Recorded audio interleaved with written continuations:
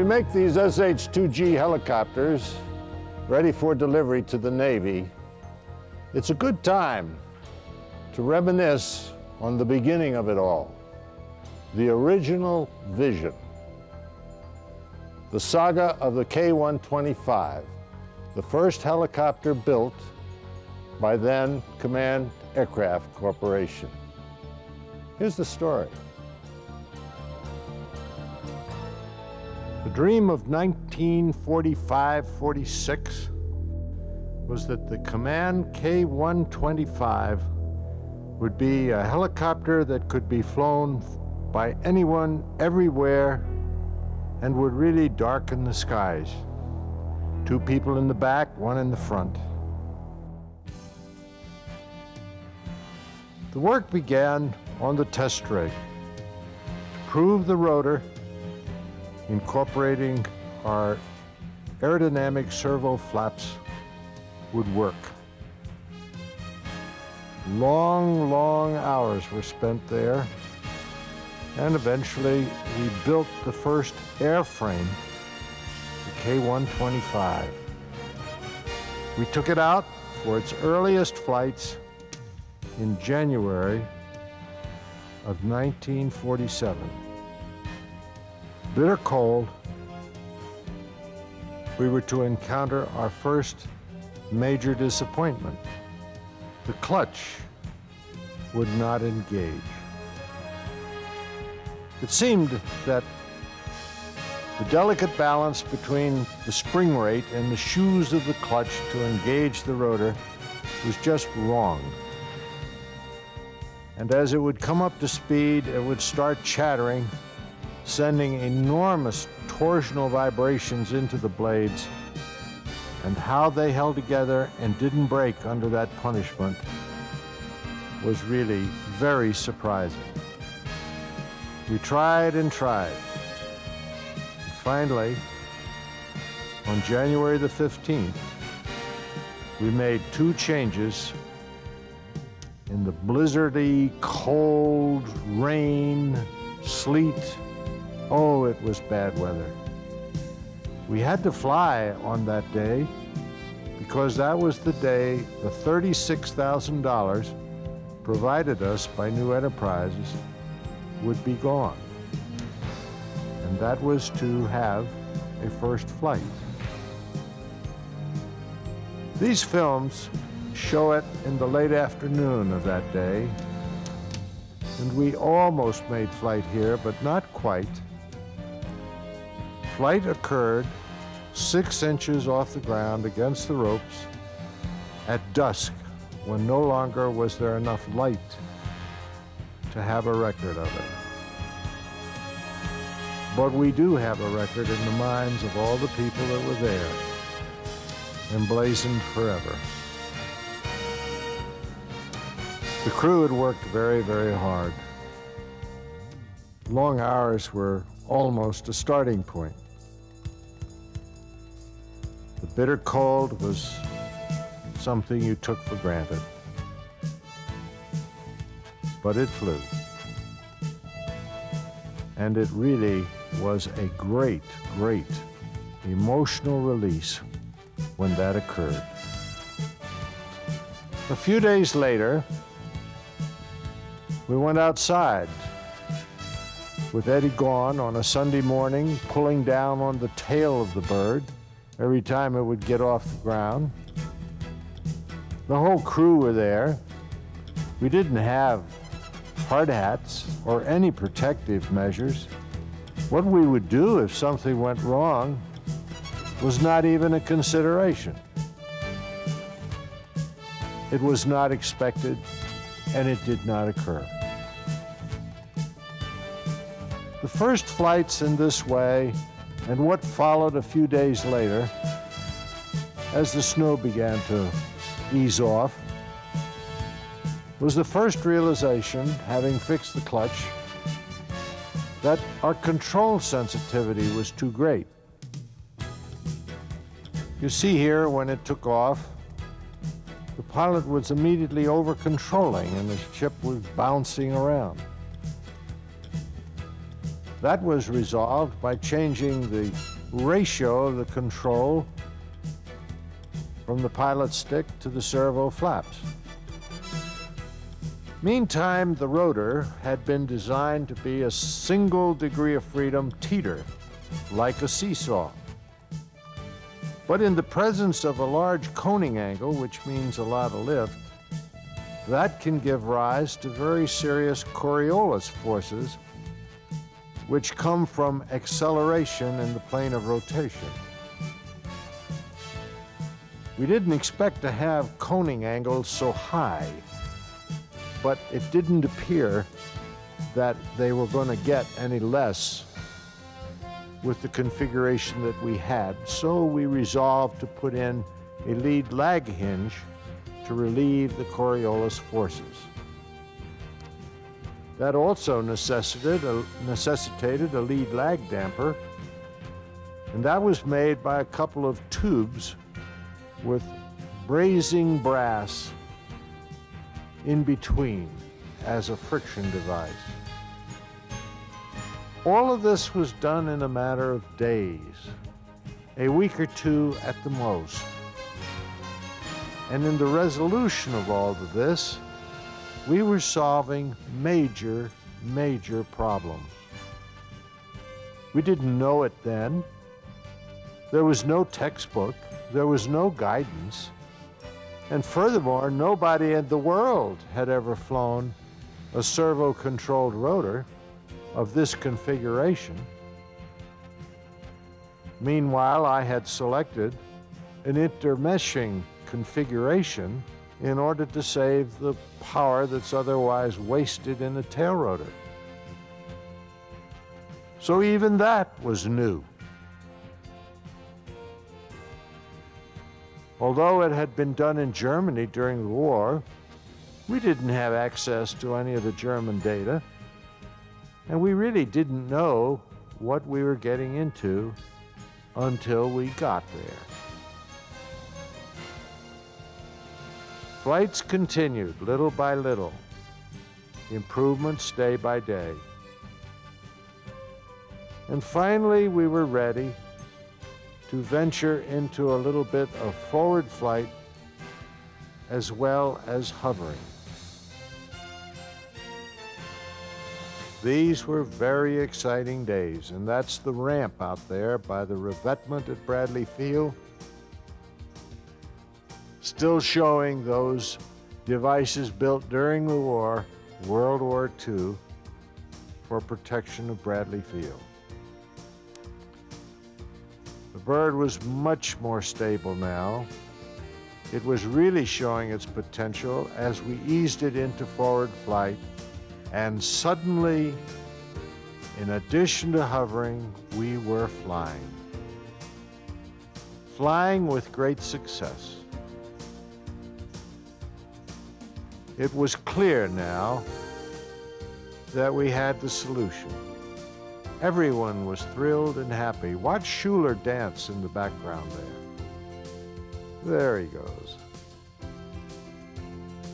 After all the effort and the painstaking night and day, suddenly we had reached the point where Jack Rohr, our pilot, was beginning to practice for the big demonstration for new enterprises that was scheduled for Good Friday. Well, in effect, he had to learn to fly this plane. It was unlike any other. And as we would learn with time, much more forgiving, more docile, more stable, but the control forces just moving the little servo flap were almost negligible. And it was virtually fingertip control, unheard of at the hour, at the day, at the time. Other helicopters changed their rotor blade pitch at the root and had a horn attached to the control from the pilot that moved the blades pilots would virtually get muscle spasms after an hour or so. they were enormously difficult to fly. And those forces were very, very great, to be resolved years later with hydraulic servos. But here the Kaman K-125 was flying with an aerodynamic servo flap, and it had virtually minimal, minimal control forces. No one had ever flown such a plane before, and hence it was necessary for Jack to learn how to fly which is what he was doing in all of these sequences. In and out of ground effect, sideways, turning, forward, backwards, all of the maneuvers a helicopter is expected to do. When the great day came, on Good Friday, we were ready. And the exhibition that was put on was truly remarkable. In fact, everyone was absolutely thrilled beyond belief.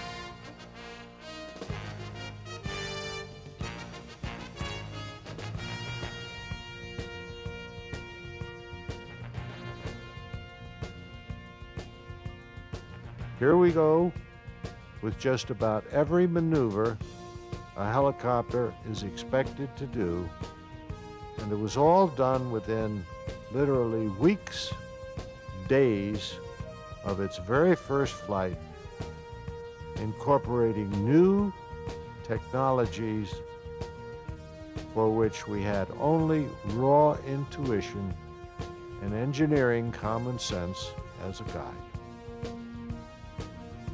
So here we are demonstrating on Good Friday.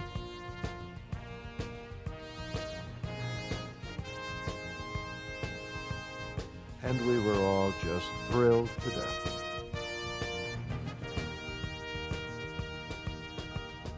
Marshall McGuire, Lou Schuler, Lynn Crosley, Dave Ravenhorst, myself, Jack Rohr, of course, Bill Murray was there, Marty Stevens, there were many others. And this was the flyby on Good Friday that got underneath Jim, uh, Gene Hotchkiss to the extent that he had to slap me on the back right there. Success was very delicious.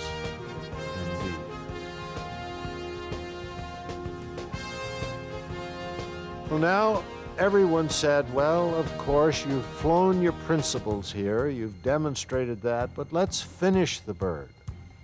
Why don't we make it into a helicopter that you can raise money with? And let's do it fast, because it was perfectly obvious we would need a lot of money. So we proceeded to finish it by degrees. We added the tail, first off. And now Bill Murray had taken over flight testing from Jack. And the beginning was to illustrate how this new technology actually worked. Many people raised the question of tip clearance. Actually, in all of the years of flying since 1947, We've never even had a close call with the tip. But nonetheless, in these early, early days, everything had to be shown. It could not be taken for granted. The control stick, the cyclic stick here, moves fore and aft and laterally to tilt the rotor plane. It does so, that's both rotors, it does so by tilting the gimbal ring shown here, which in turn introduces pitch in one direction to the flaps on one side of the rotor disc and pitch in the opposite direction on the other side of the disc.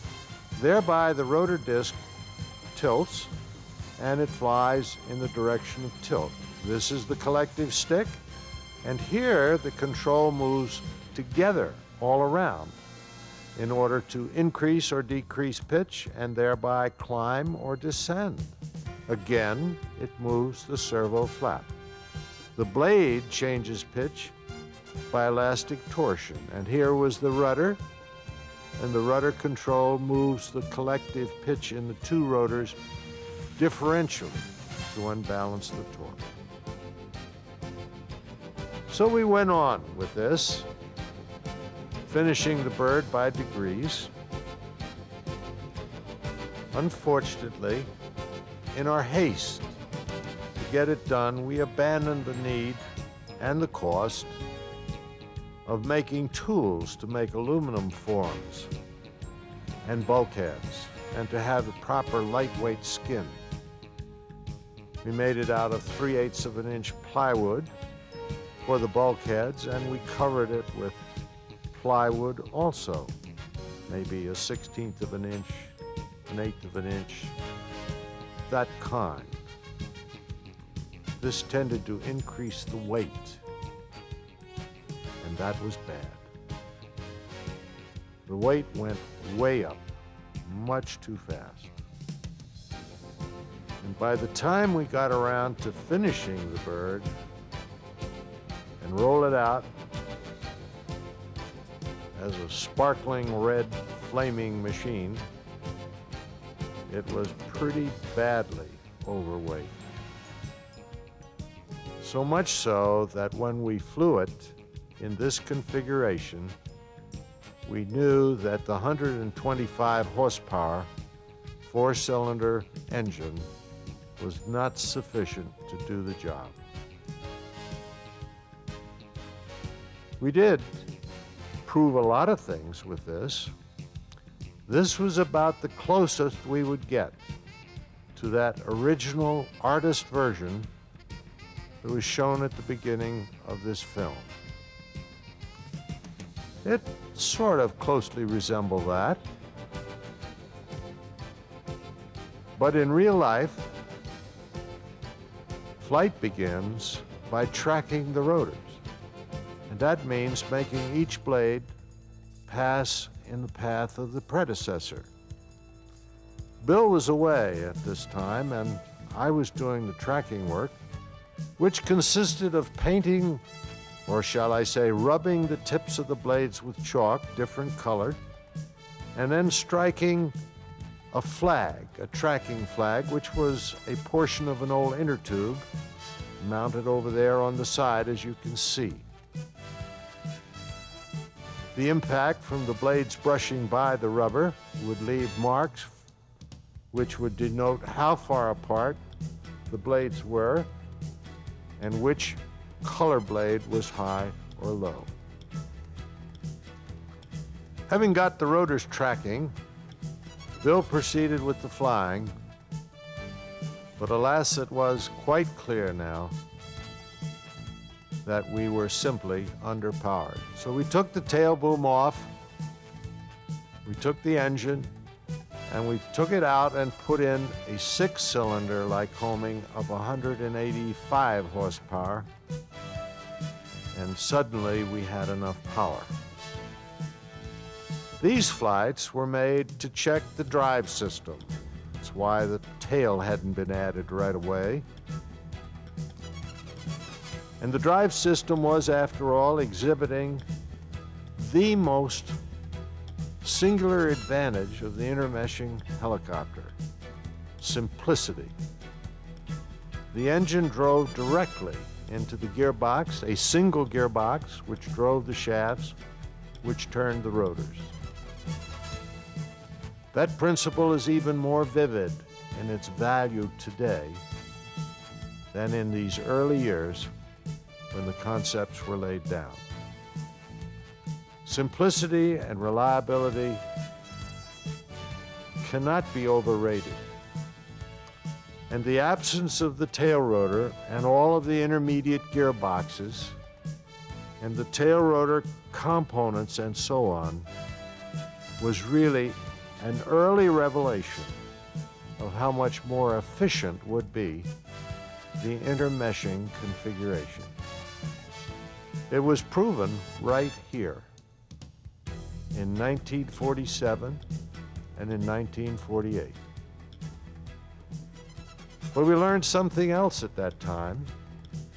The CAB, Civil Aeronautics Board, issued new regulations that would be impossible to fulfill with our meager capital resources. We would have to abandon the concept of the K-125. And in its place would come a special helicopter, a special agricultural plane for dusting, spraying, fogging, and whatever, because in this manner, the new K-190 would be within our means to certificate with the then CAA under the new CAB rules.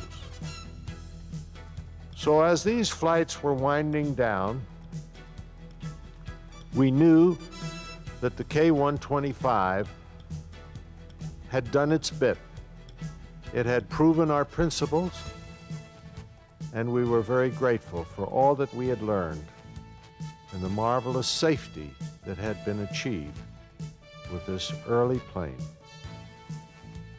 We did go further. We put a single large fin on it, and I undertook to fly. The comic relief of the captions of the day notwithstanding, it was great fun. I didn't even have a pilot's license.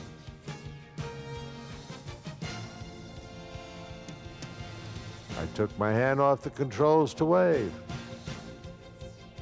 Then, of course, maneuvering, turning, all of the rest. It was just great fun.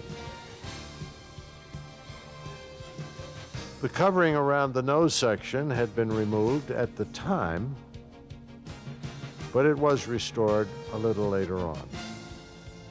And then we had the K-125 and the K-190 flying together.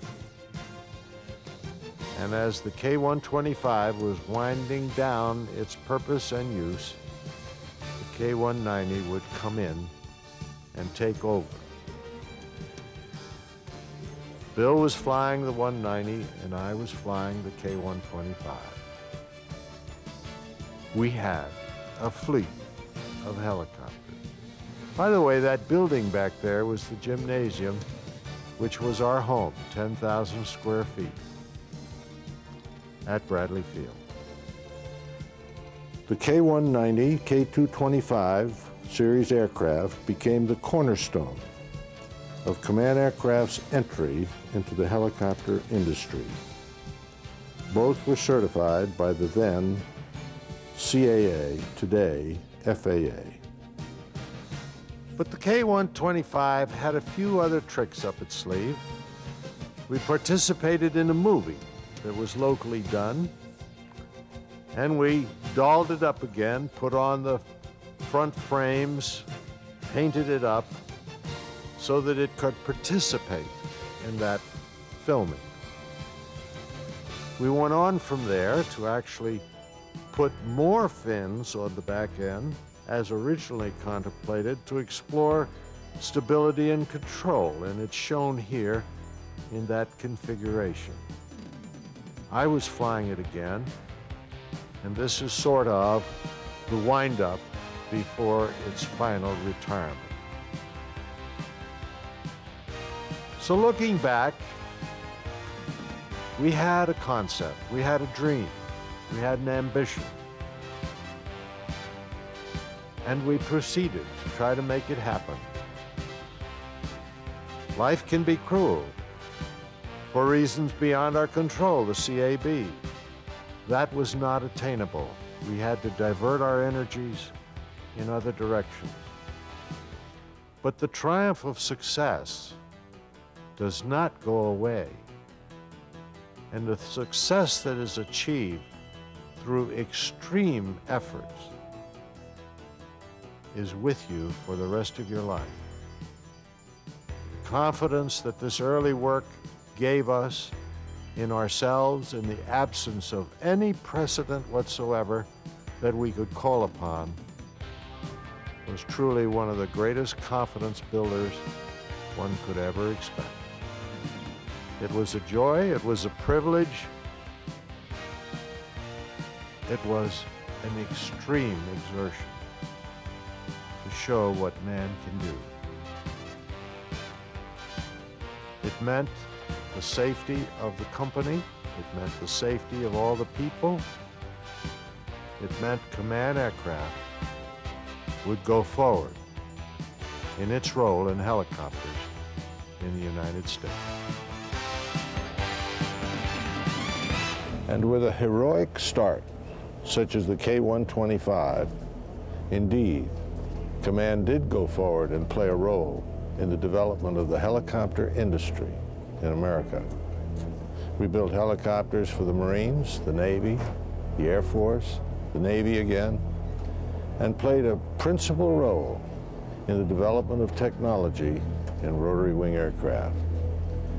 Today, after nearly 50 years, we are able to call on that technology to take us into the 21st century with a new vision, a new vision of an aerial truck. It's called the K-MAX.